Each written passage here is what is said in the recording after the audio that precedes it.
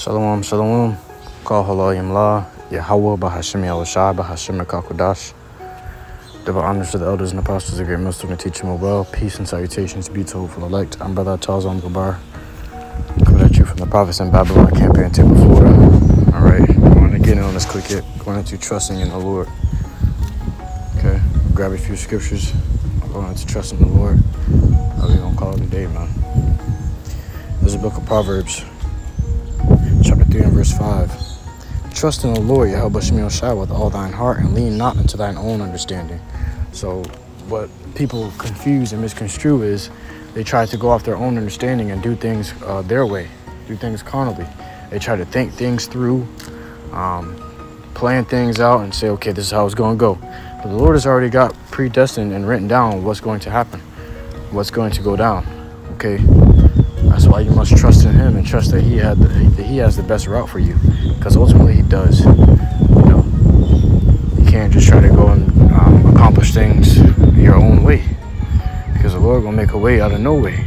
You know, and that way is always gonna be the right way. Scripture says, uh, every way. uh, matter of fact, I'm gonna just grab it.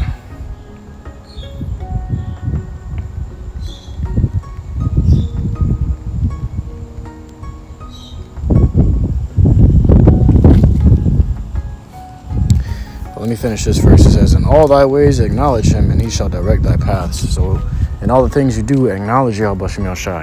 How do you acknowledge Yahweh Shem Shai? Is by thinking upon the law, statutes, and commandments. The things that Yahawashi did are the things that Yahweh Shem Shai would do, you know? And that's how you get your, your, your paths directed by him, you know? Your actions. Every day you wake up, you're faced with decisions to make, you know? You're faced with decisions to make. Where this, this this decision to stay in bed and sleep or get up and do something, that's your first decision of the day. Okay, but you're faced with decisions every day, and all the decisions you have to trust in the Lord. Okay, that doesn't mean just take the the stupid way. You also got to have some form of common sense. Okay, because behind faith is works. You got to put forth works to uh, display your faith. You tell the Lord, you appear before the Lord and you tell him, Lord, I do, I, I believed in you the entire time. And then the Lord runs the track back, you know, pulls up your works, and you have no works towards Yahweh Shemel Shai, then you are, my, my good sir, a liar. Okay? You, you did not, in fact, believe in Yahweh Shemel Shai the entire time. Okay? Because there is no works proving that you did. You know? So says, In all thy ways acknowledge him, and he shall direct thy paths. Let me grab this in the book of Proverbs, chapter 21, verse 2. Every way of a man is right in his own eyes, but the Lord, Yahweh Shemil Shai, pondereth the hearts. Okay, so you may think that you're doing going you're going down the right, you know, you're going down the right zone, the right path. You, you may think that what you think is right, but the Lord is the one who pondereth the hearts. Okay, he, he stirs up the mind you know?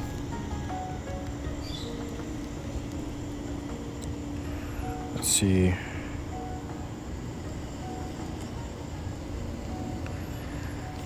Um,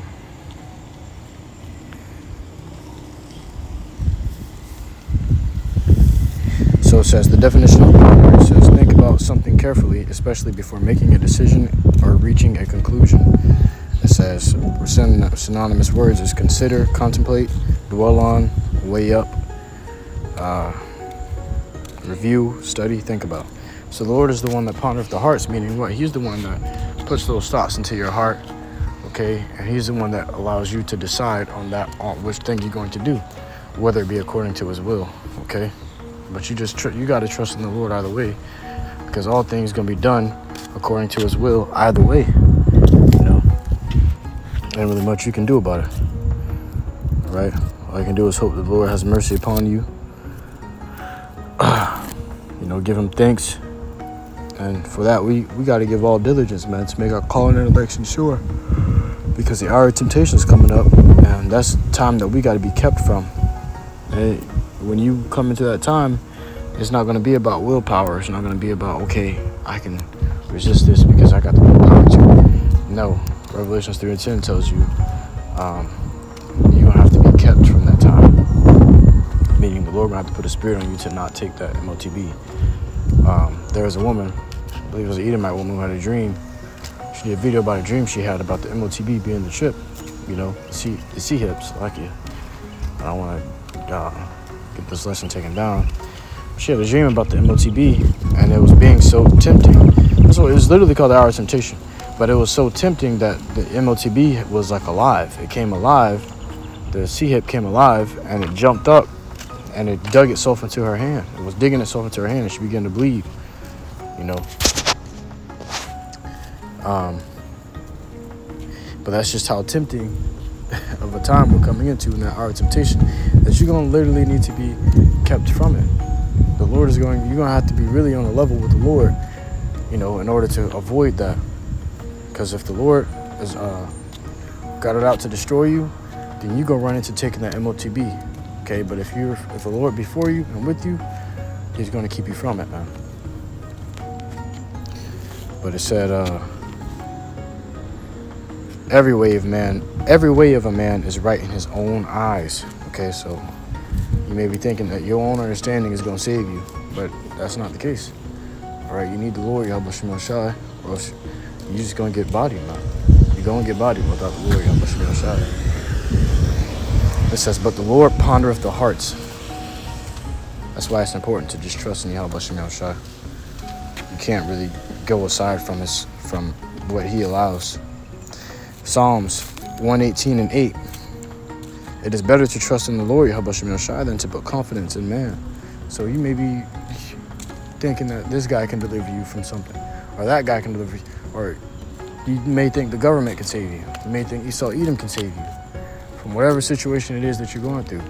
But ultimately, the Lord, He makes the decisions. He's doing the saving. He's doing the deliverance and the destruction. As it says, uh, Deuteronomy 32, I kill, I make alive. I wound and I heal. Okay, so the Lord does all these things. I, the Lord, Yahawashi, do all these things. All right? There's, there's nobody that can deliver out of the Lord's hand. So there's nothing that's going to go aside from what the Lord uh, uh, allows, man. If, if it happens, it's because the Lord allowed it to happen. Okay? There's nothing happening without the Lord's permission. The Lord is in complete and full control over all things in the earth and in heaven.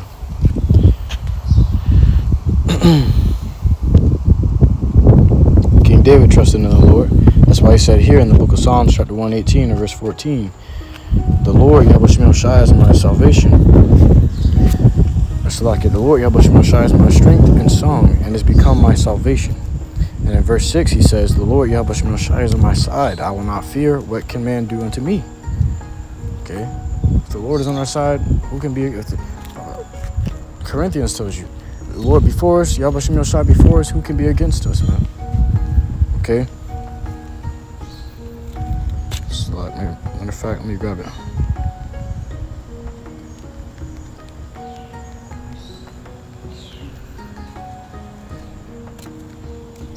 Salakia, that was Romans, the book of Romans, Salakia.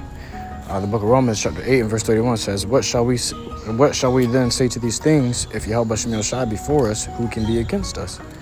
Okay, like it was stated here in Psalms, man. But um, what can man do unto us, man? Man, a mere man whom the Lord has created, a creature that was born of the Creator, you know, who's in control of all things, and nothing goes uh, contrary to His will. In fact, let me grab this.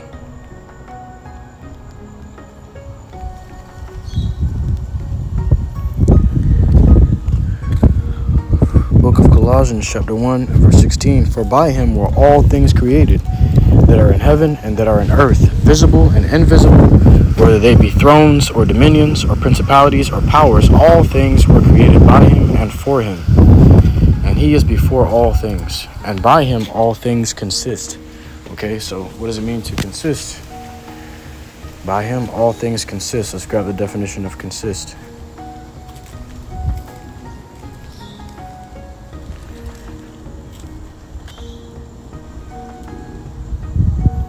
So it says, Be consistent with. Okay? What does that mean? To be consistent with, to continue. Okay? By him, all things do continue.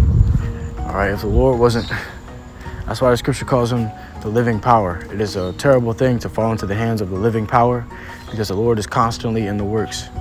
All right? The fact that you woke up is because you consist by Yahawashi.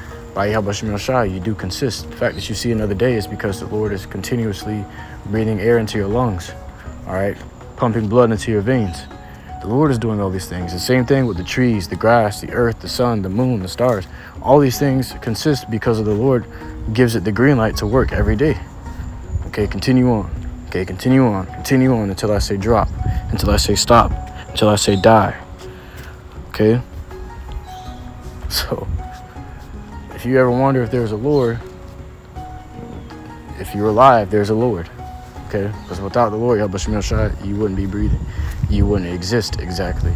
You nothing would be in existence. There would be nothing. You'd just be in a plain space. Be a plain space of nothingness, man. We ain't even gonna go that deep.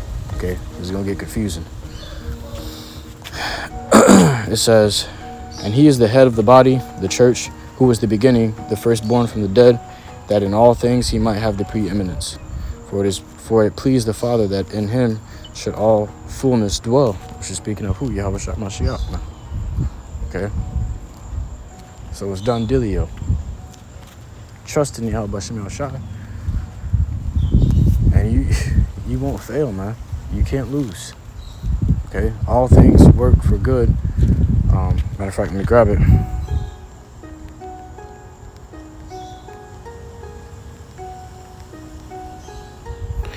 In the book of Romans, chapter 8, verse 28. And we know that all things work together for good to them that love Yahweh Shem to them who are the called according to his purpose. All things work for good to the elect, man. All things work for good, uh, work for good for the elect. Okay, so if you be that elect number, you good, man. The reason the earth is in destruction and, and peril and all the, the, the death and destruction going on the earth is a good thing working for good for the elect, you know But you may be brought up now. Okay? And chiefly, Yahweh Mashiach, because the Most High had given this world to his son, Yahawashi.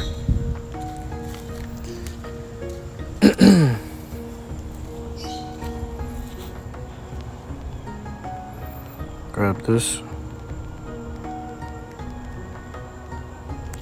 In the book of Romans, chapter 9. Romans chapter 9 and verse 19. Thou wilt say then unto me, Why doth he yet find fault? For who hath resisted his will?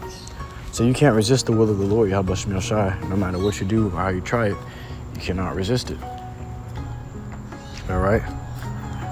You have men that have tried and, and nobody succeeded. Okay? With that being said, man, trust in the Lord, Yahawashi, and He's to direct that path. He's to direct us to the light to the safety and comfort of His truth, man. To next time, Yeshua, give all glory, honor, praises unto Yahawah, Bahasham Yahawashi, Bahasham Kakodash. Shalom.